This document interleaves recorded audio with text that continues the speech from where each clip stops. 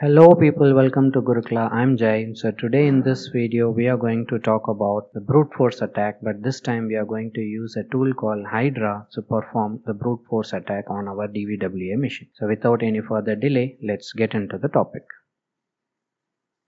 If you have landed directly onto this particular video, I would like to let you know that this is a lecture video series where we discuss a lot about web application penetration testing and the vulnerabilities present in web application from scratch. So I will leave the link for the complete playlist in the description box below and I would recommend you to check that out. This is the entire overview of today's video. So we will be having a brief overview of what Hydra tool is and then we are going to install not actually installing it actually upgrading Hydra in Kali Linux because Hydra almost comes pre-installed with most of the Kali Linux distributions.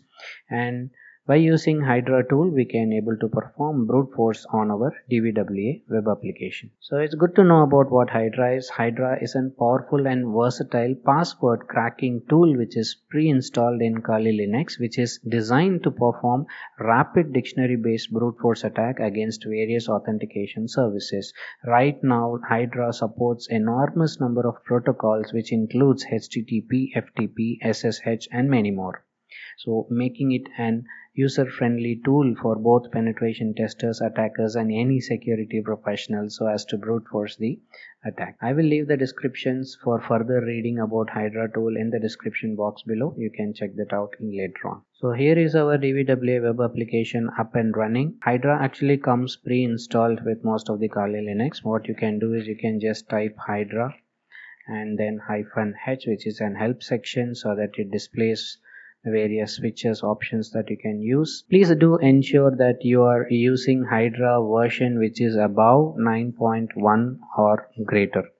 Uh, in case if you are having any lower version which is less than 9.1 and i recommend you to please upgrade it to the later versions because it was reported that the earlier version had some bugs in that. For that you have to fix so just in case if you are running on an later version you can reinstall that. You pretty much know the command so it is sudo apt install um, hydra so this command will actually reinstall the latest packages of the hydra and that will actually upgrade your hydra to the latest version. So i have already done that in case if you do not have the latest version you can run this command and upgrade your hydra before we get processed. So for hydra tool we need to have one request at least that is sent from the web application. So in order to capture the request we are using zap so let me fire up the zap so that in the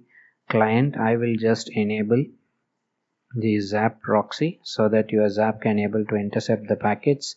And now i will type username as admin and then I will type the use password as test123 and I will click on login. And as usual it is pretty much known that it's a wrong password but we need only the captured HTTP request. So when I click on this particular request you can actually see what is the request that has been sent and we will be requiring some of these informations while we are running the Hydra tool.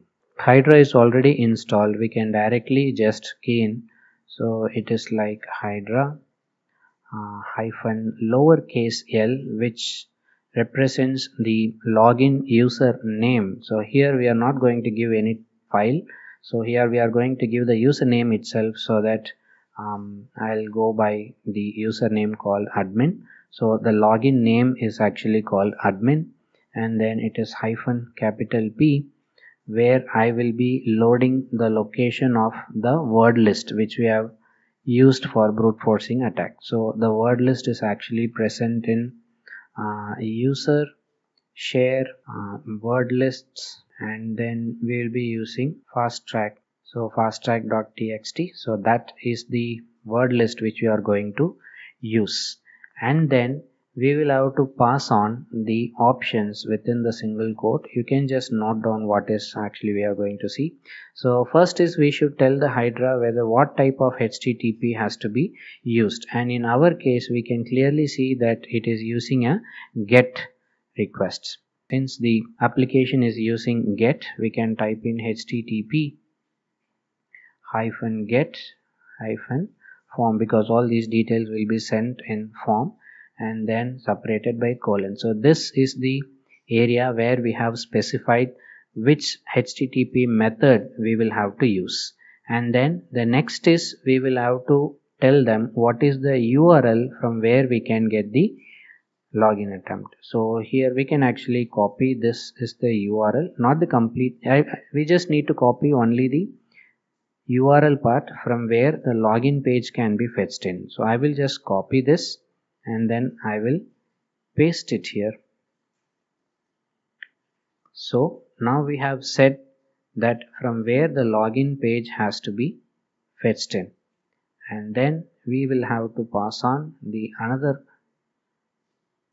option that is the parameters which we have to brute force in. So the parameters what we are going to brute force here is the username, password and then the action login is equals to login. So this is what we will have to pass on. So I will just copy this here and then I will paste it to our Hydra. So there comes username, admin and password which is login is equal to login. So here we have to make certain modifications. Hydra will actually work on the variable called user and then the pass. So in place of username we will have to pass in the username called user. It has to be mentioned within this cap so that um, the user variable will be replaced by whatever that you have mentioned over here. And then it comes the password. So instead of test 123 i will have to pass the variable called pass which has to be mentioned within that cap symbol. So where it actually shows all these things.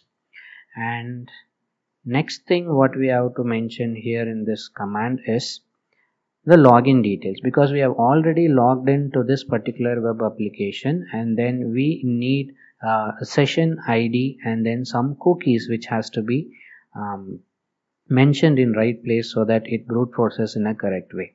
So i will just pass on in another command.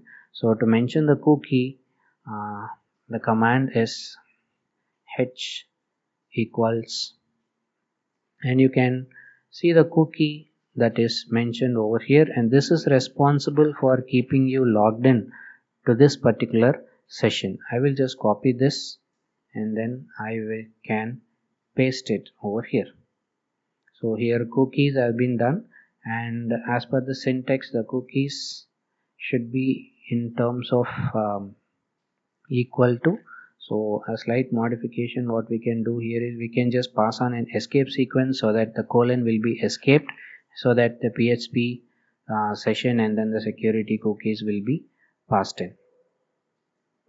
And then the last option here is we are going to pass on another option which is the failure string which will help the Hydra to identify unsuccessful attempts. So which means for any response which does not have this failure message is considered to be the correct password.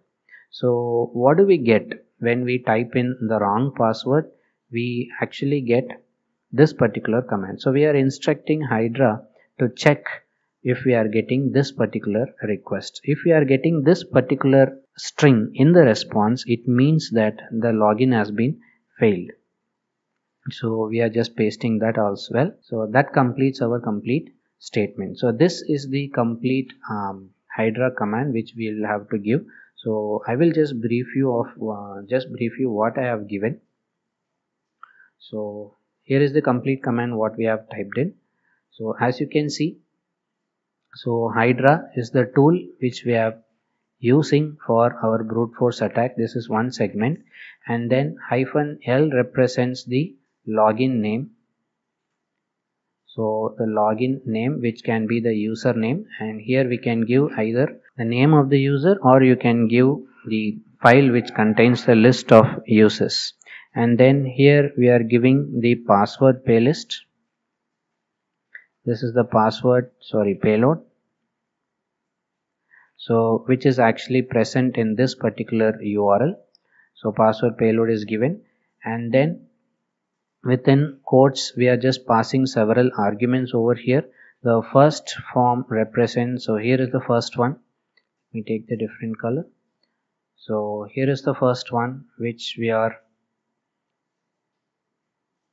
passing it on. So this is the first one which actually tells what type of http request is being sent.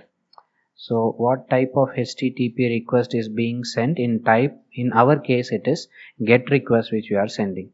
And the second part this is the second part which actually represents the url for the login page. So that we have to type in here and then next comes the third parameter which is from here to here which is the third one that says the parameters in the URL. So parameters in the URL where you will be having username and then the password. So we will have to use username. The variable is user. So this is where Hydra will substitute the list of users that we have given. And the variable for password is pass in uppercase and this is where the hydra will pass all the passwords which is present in this particular word list. And then we will have to specify the next one. So that is cookie. So this is actually your fourth part of the command which is cookie settings so to mention that it is cookie you will have to use that uh, the parameter as h is equals to cookie. So usually it should be x is equals to value. So since we have uh, equal to here we are just giving an this this is an escape sequence. So this escape sequence will just remove this colon here so, so that this will not be considered as end of the command. So php session id which is this value and then the security is low this cookie value will be assigned to the variable cookie and finally we are passing the last one so this is the fifth one which is actually representing the failure string. This is represented by f is equals to. So any string which you represent over here will be checked in each and every responses so that if this string is present that indicates that it is an failed login attempt. So in other words any response which does not have this failure string represents that is an successful attempt. So this is an entire description of this particular uh, command and now we will see how this particular command will work. So now the Hydra has completed the brute force attack and then we can actually able to see that there is a response that we have received. So here is an highlighted response. You can actually see that the response what you have received. So we have sent HTTP get type of form from the host 127.0.0 and the login name is admin and the password is password. So only for this particular entry we have not received that failure string what we have mentioned over here. So and it has just identified that one valid password has been found. So this is how the Hydra can be used for brute forcing a particular application.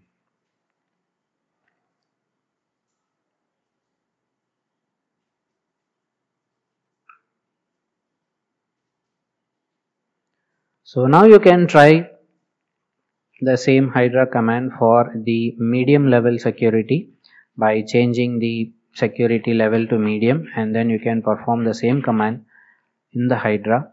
You can just snap it onto the other side and we can just go to DVWA security and we can change this from low to medium. Then we can click on submit. We can come to brute force. You go to zap and I will clear out all the responses which I have submitted already. And I will type a random username that mean admin is the username which I wanted to brute force. And the password is test123 I'll click on login. So we very well know that it's a wrong password. I'm all interested about the HTTP capture. So I will just double click on this so when you look at this particular entry and we will just recollect the entry which you have seen. And at this particular case we can clearly observe that the so http request what we are sending is again get. So this is also again the same url what we have sent. So this is again the same url what we have sent and from the same uh, details. Finally you can also see that the cookie details the session id is not actually changed from the previous entry. This is the cookie details which has to be sent along with the hydra the cookie remains the same. So as you can see that the cookie remains the value of cookie remains the same. So there is no much changes required in the uh, command. So instead of low we will have to give this medium. So this is the only change which we have to make it. So what we can do is we can just change it to medium. So I can just change that low to medium. So that is the only change which we have to perform. And this time I will add okay so I will add on one more feature called hyphen uh, v which will give our expressions in an verbose mode. So I will hit enter. So you can see that it is resolving for the verbose. And then it is going to it is going to take some time because we already know that when you keep the DVWA in medium security level then it takes additional 2 seconds delay for every wrong password submitted to the server. So it's going to take some time so as to try 222 responses. So this particular response is actually shown here. Your hydra is actually started. The username is being sent and it is going to try 222 number of entries okay it's taking pretty much time. Let me just check if we are getting any faster responses if I remove that verbose one. Um, I don't think that it won't make any much difference because uh, the server is designed in such a way that for every unsuccessful attempt it is going to take 2 seconds of delay before it accepts the next uh, response. So it is going to take um, pretty much amount of time because it has to pass all the 222 responses and then it should get the correct one. But however we could able to see from the previous response of hydra uh, hydra can able to correctly guess the password over here.